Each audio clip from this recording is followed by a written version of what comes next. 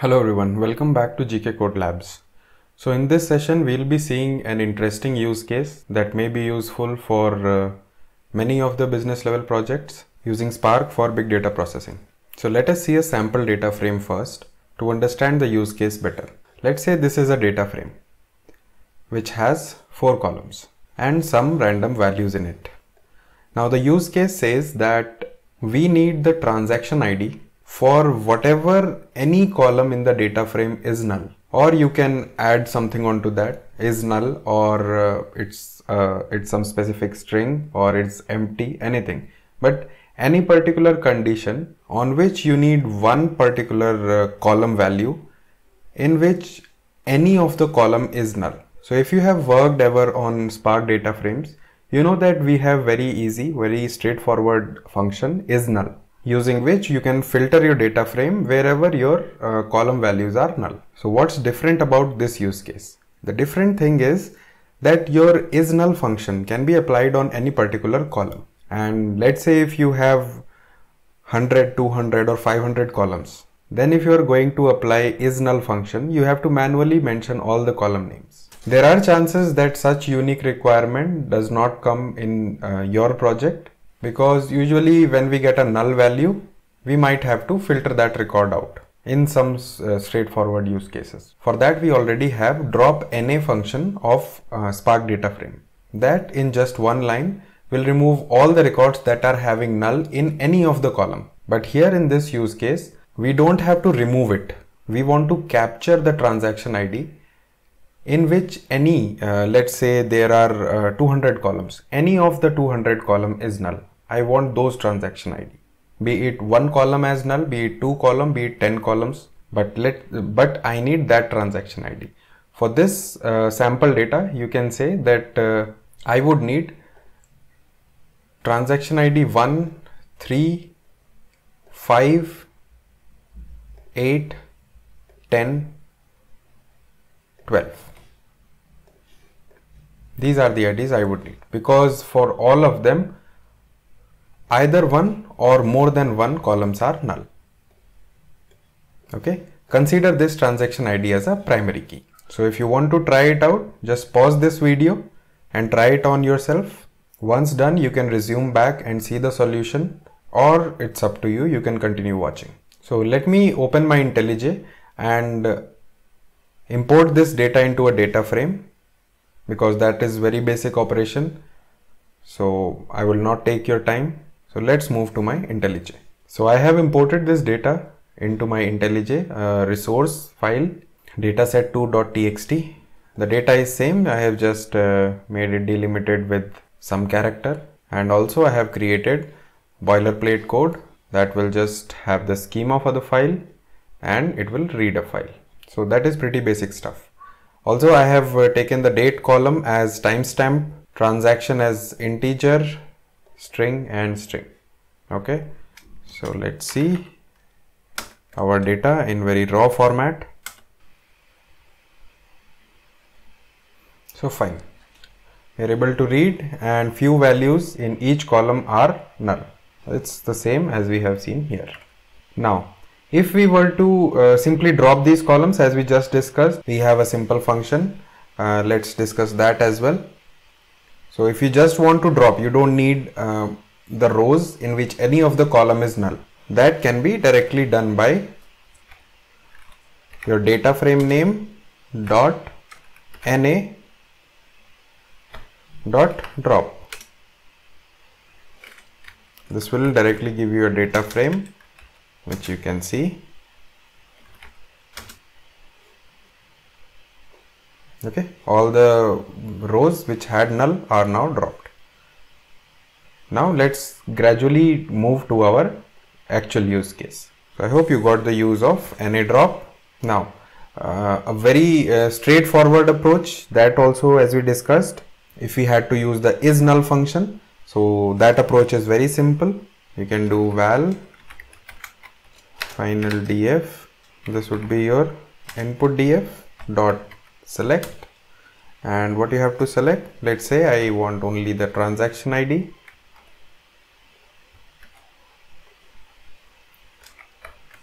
dot where?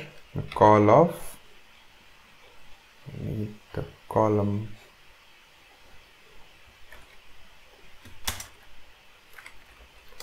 Function dot call. Where the call of let's say uh, one by one we have to mention. Call of date dot is null. And here we can do uh, multiple condition.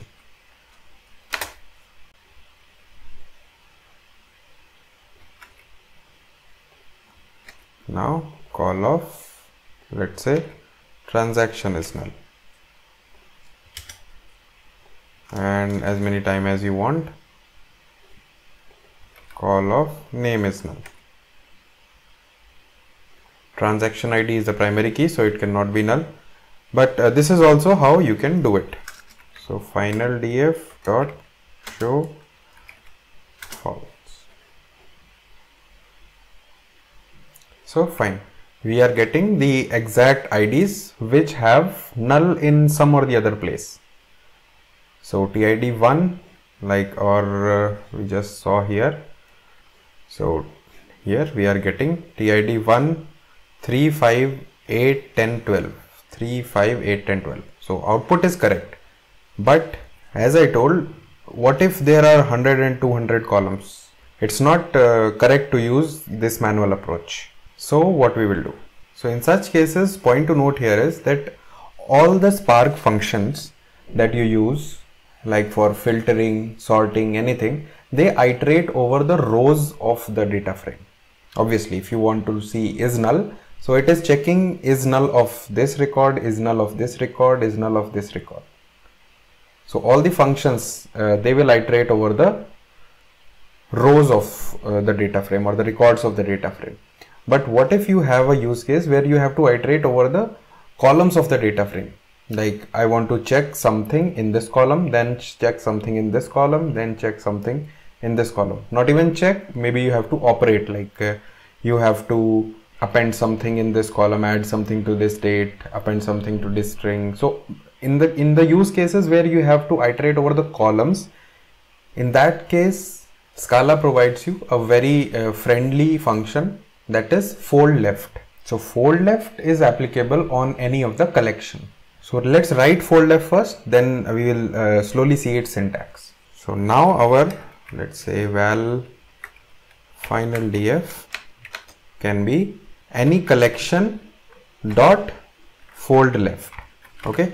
So fold left is always uh, applicable on any collection. So what collection are we considering here? wherever we have to iterate, right? Where we have to iterate actually on our columns because we have to see for any of the column if my data is null then I have to do something. So how you can get the column names in some collection? So that you can do by your data frame dot columns very simple function that will give you a, a list of all the columns now here very easily you will get the fold left definition. Yes. Now fold left has to accept any initial value. So our initial value will be our data frame itself. Then it will accept a function. What we are passing?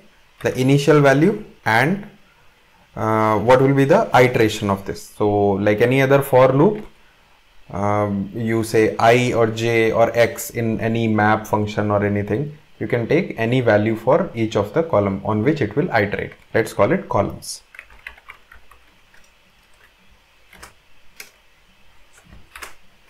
Okay, so our function definition should start from here. We are getting this and it will return some value. Now let's see what it will return. So as it has to iterate, so in the next iteration, it also needs any input value that it is taking. So here initial value it is taking as input df. So for the next iteration also on what parameter it will uh, it will use for the next iteration that you have to return from here. So without any definition, let's return the same data frame. So as of now, this is the standard definition or the syntax for fold left for our data frame. But what we are doing we are just uh, passing the data frame and returning back the same thing so there is no use right now but the syntax is this if you are passing a data frame to fold left you should also return a data frame this data frame can be your processed data frame like after operating something using the values of this list let's suppose doing this iteration I had to append uh, ABC to all the columns so I would be returning the data frame in which each column was added with ABC. So in first iteration, my data frame would return one data frame that will have date as ABC appended. So in second data frame, uh, my data frame uh, that will be returned will have transaction as ABC appended. So something like that. Now let's write the actual requirement. What my requirement is for each iteration I have to check the value if it is null or not. So what I can do input data df that I am getting from here dot select of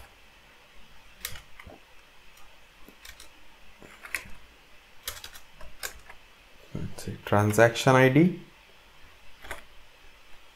where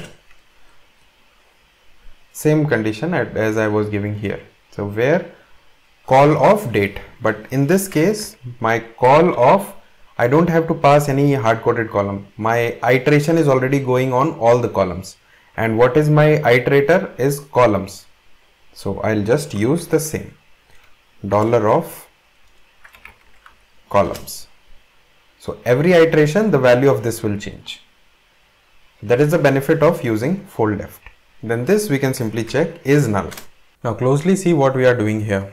We are not modifying any data, but just we are iterating the data for that reason, we have to always return the same data frame because you see here only select statement is there. And if we return the updated data frame, that is if we select the transaction ID where in first iteration, the column that is date is null. So if we return the updated data frame, only this row, this row and this row will get filtered and will get returned. So new data frame that will be returned will have only three. Now in the next iteration, transaction will be checked only for these three and hence ignoring all other records. So that is not what we want. For every iteration, we need to check all the values of that particular column. But while doing that, what wrong we are doing is our final data frame will finally have the original data frame only. Because in the last iteration also, we will be sending the complete data frame. So for such scenario, what we'll do we'll create a data frame let's say IDs that will be an empty data frame you can create an empty data frame with spark.empty data frame and to this same data frame for each iteration whatever values we get we will keep on appending into this empty data frame so be it uh, we will uh, return complete data frame but for each iteration our values will be appended to this data frame and finally IDs will have the actual data that we are getting. Only the iteration will happen inside fold left. So for the iteration, we don't need to assign also now because this is just used for iteration. We don't need anything out of it because anyways, we are going to get the complete data only. Now here, whatever we are selecting, we can do IDs equals to IDs and how you will append into a data frame that will be done by union union or better use union by name so that the um, sorting is also taken care. I mean the position of column can be different. So union by name and this can take the complete. So what we will do, we will just union this data frame with whatever we are getting in each iteration. Fine. But for union, both the schema should be same. This is having only the transaction id so let us add a transaction id also here. Dot with column. So that uh, union does not give us error. And let's do anything. Literal of plus literal also we can import. Sorry. Yeah. Now let's see. Ids dot show. False.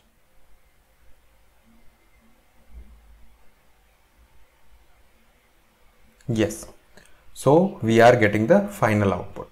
But if you see closely for 5 we are getting 2 because for 5 for each iteration this will come because for this date is also null and transaction is also null so for whatever columns we have two, like for uh, transaction ID 12, we have two nulls.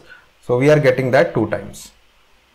And for all the ones where only one is like for transaction ID 3, only name is null. So 3 we are getting only once. So we need only once. So that is very simple. So uh, let's add something upon to this. As we have got this scenario, it's good.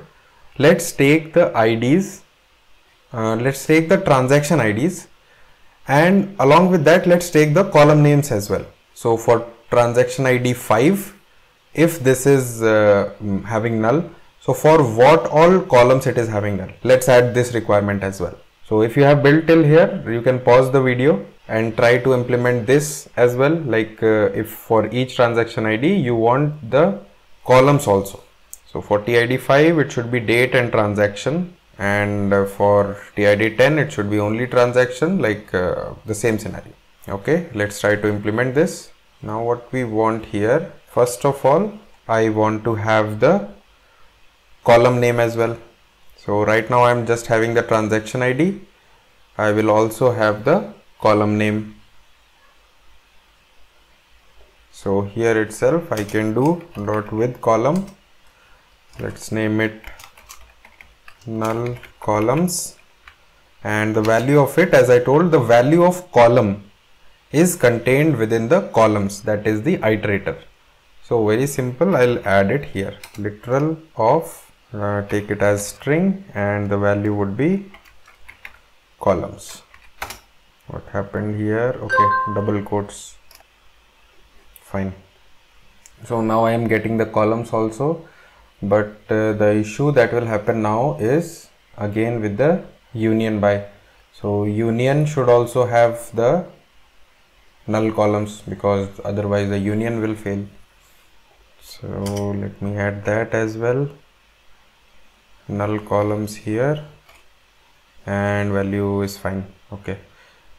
These are in same schema. Okay. Let's try to run this just to see we are on the track. Okay. Correct. Now we are getting all. So for TID 5 date and transaction. TID 5 date was there and TID 5 transaction was also there. So we are getting as expected um, let, us add one more uh, use case so that it should the output should be looking pretty. Uh, let's have transaction ID as 1 and then whatever null columns are there that should be coming in a uh, list. So TID 5 should be date comma transaction. Hope you get it. Let's try to implement that as well. So what we can do? IDs IDs we are getting finally IDs uh, first of all we'll drop the duplicates. And let's drop the duplicates from your transaction ID but I don't think now duplicates will be required because we are already having the null column and this combination will be unique. But anyways uh, why take risk? Just drop duplicates with this and columns. Then for uh, having such uh, requirement that uh, you want to group by something and take the value of one column as the list after grouping. So here you can use methods like collect list and collect set if you want to remove the duplicates as well. That can also be used in place of drop duplicates here but that's not our target.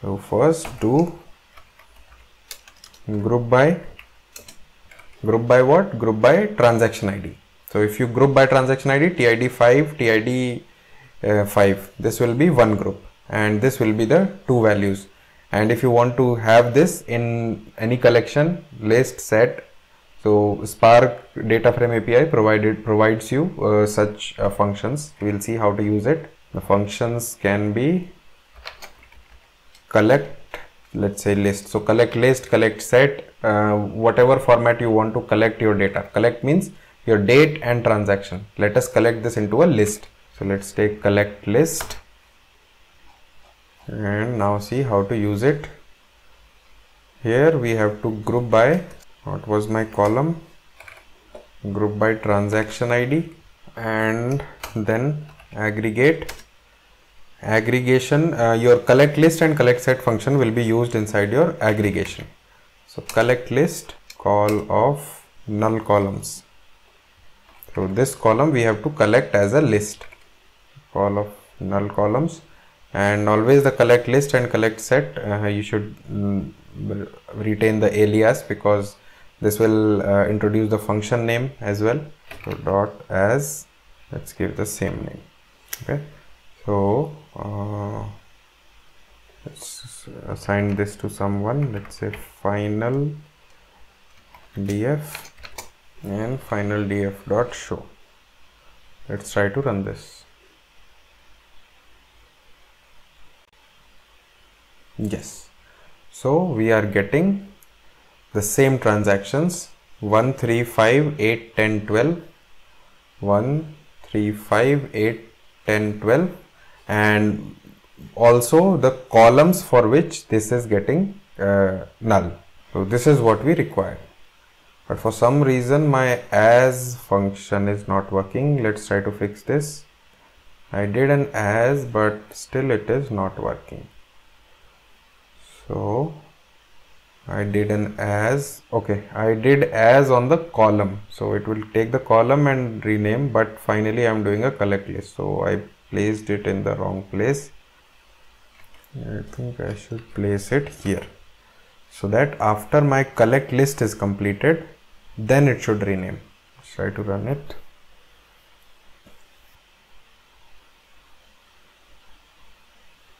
Yes perfect. Now I'm getting null columns and if you see uh, we have considered entire data frame all the columns now this data frame can have hundreds of columns. I can get null along with the transactions where uh, my required fields are null. Also uh, if you don't want to consider entire fields so let's say out of 100 or 200 columns you need some 50 columns. So again this type of uh, approach can help you because no matter it's not complete data frame but anyways for, let's say for 50 or 60 columns you have to do this repeatedly.